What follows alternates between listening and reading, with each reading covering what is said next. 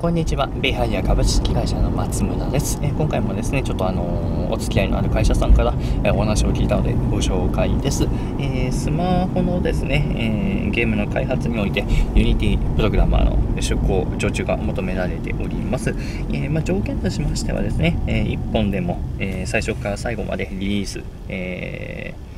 最初からですね、リリースまで、え関わったことがある方というのが条件になります。え常駐でですね、2名、えー、出向で、えー、対応できる